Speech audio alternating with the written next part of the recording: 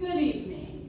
It's a good thing that Collin College dropped the word community from its name back when I was a student here because this college's actions over the past several years, especially the last year or so, do not reflect the community it came to so proudly serve.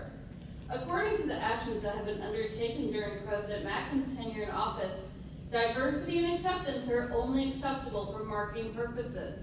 Make it appear like Collin is a great place to work and or study, while behind closed doors you do everything you can to make it look like pristine utopia, but only for those who look and think just like you. There's only one major problem with this. Not everyone looks and thinks just like you. Far from it. And that's a good thing. Every one of your students and staff and faculty, each of them possesses a unique and passionate vibrancy that should be valued and nurtured. We have the right to speak out against the injustices we see taking place all around us, including in our classrooms, some perpetrated by the very people who brought us together in the first place. An education taught by halves will never equal a whole. There will always be something missing, and if you want someone to blame for that, look in the mirror before you look anywhere else. What Collin represents is the complete antithesis of the supposed community it claims to support.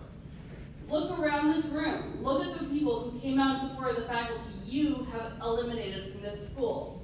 Faculty who care, not only about dollar signs and survey scores, but about the students they see walk through their classroom every day. Faculty who are driven to make this world a better place.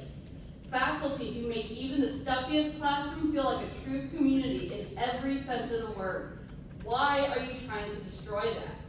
You have the power to make the right choices. You've had the power all along, though you've never used it.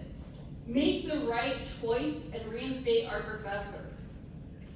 For Collin, both the college and the county and the multitude of communities they contain. You can do it. Do the right thing before it's too late. After all, graduation is next month. A time for celebration, isn't it?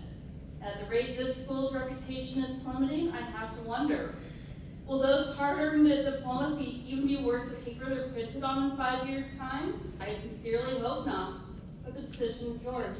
Thank you.